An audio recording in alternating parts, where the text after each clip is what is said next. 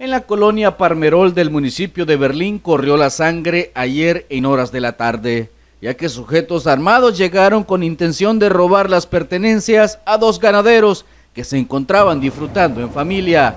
Pero lo que no sabían los delincuentes es que sus víctimas se iban a defender para evitar el robo. Y como resultado, los dos ganaderos se encuentran lesionados en el hospital de Santiago de María.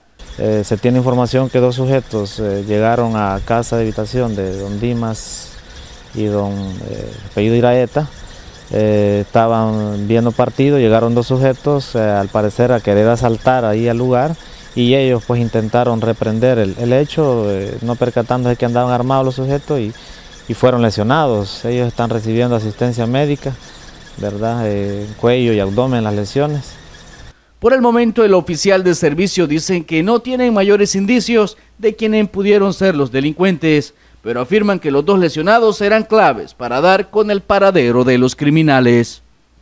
En momento no se supo, al parecer son dos personas que no son del lugar, ¿verdad? Ya tenemos gente de investigación que anda en el lugar eh, recabando datos para lograr identificarlos. Esperamos nosotros en corto plazo pues lograr individualizarlos y presentarlos ante la Fiscalía.